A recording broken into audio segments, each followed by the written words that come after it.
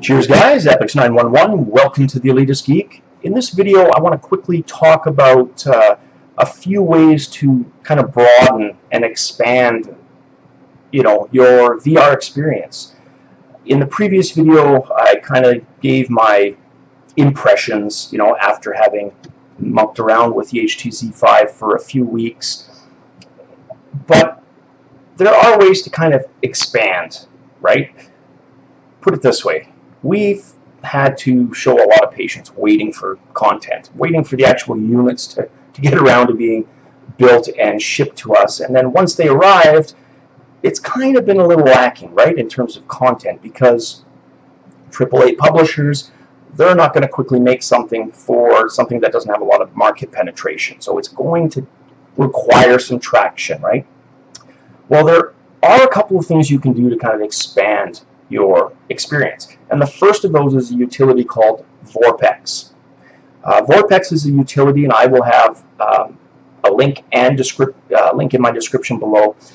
But VorpX is a utility that will allow you to take regular first-person and over-the-shoulder type games and view them in VR.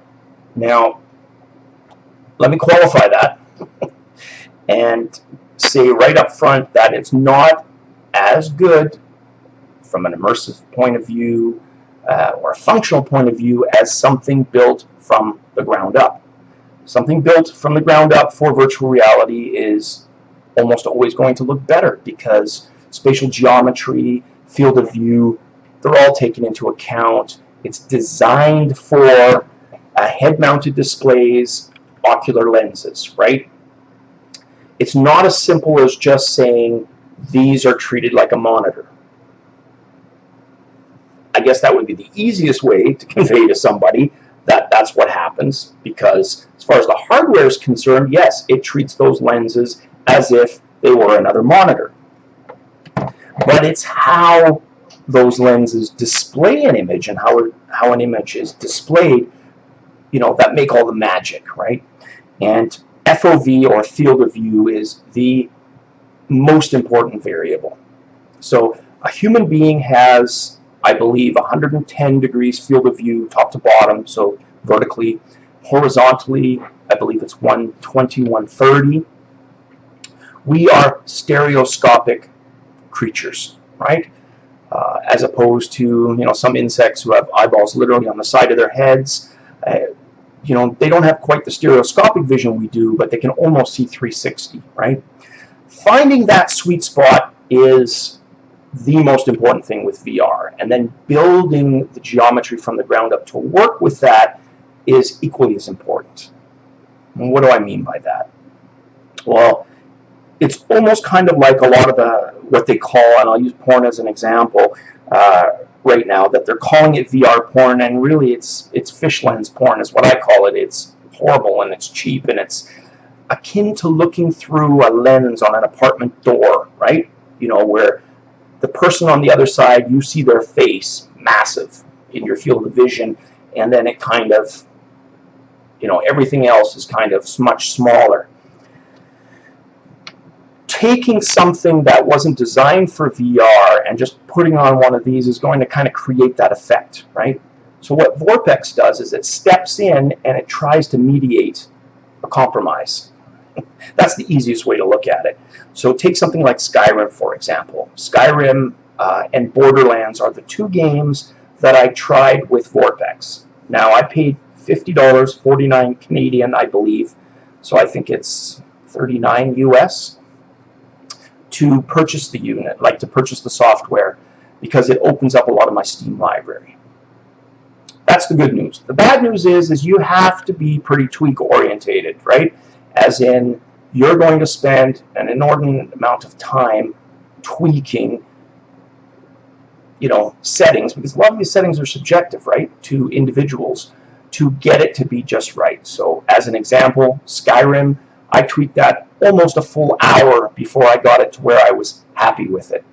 Thankfully some things are made very easy in Skyrim like field of view. It's tilde which brings up the console type FOV hit the space bar, and then a numeric value, 120, for example, which I believe is the oft recommended value for Skyrim field of view for VR.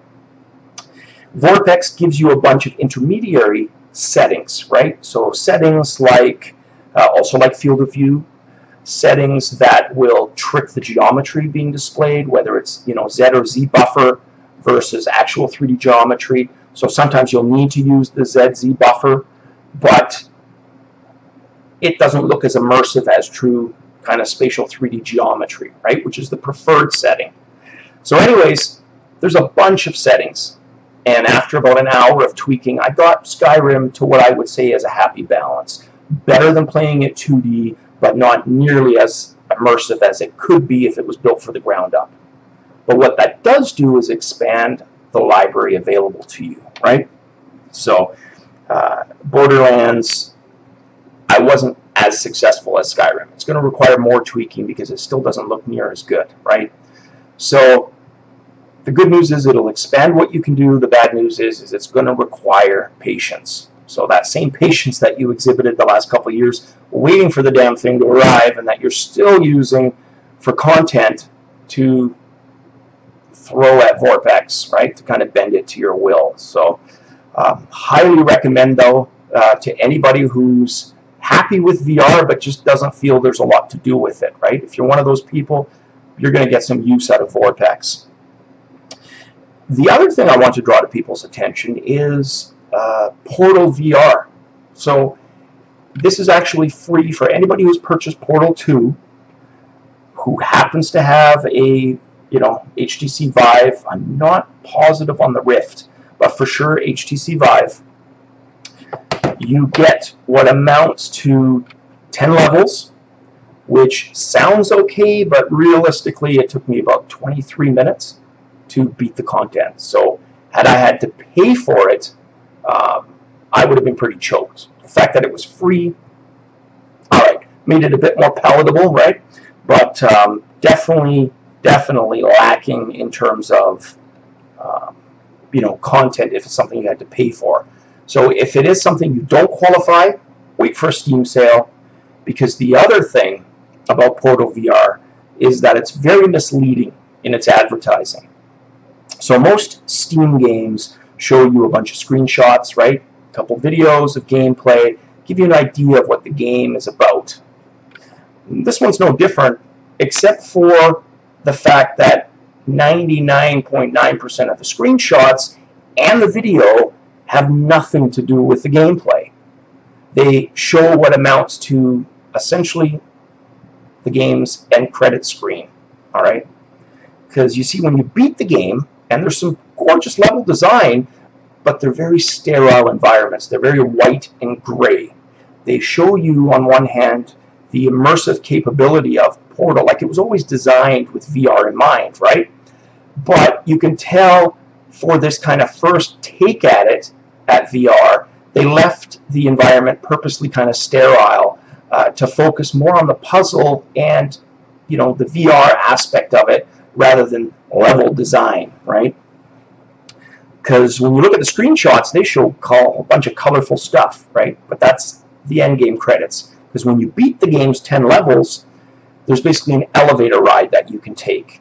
And it's through a gorgeous complex, but it's not very interactive. You can just move around the elevator and look at the scenery from different vantage points, but the scenery is static and you can't, again, interact with it five, ten minutes maybe, right? There's some foliage on some of those screenshots. You see none of that uh, when you actually play the game. That foliage is strictly from the end game.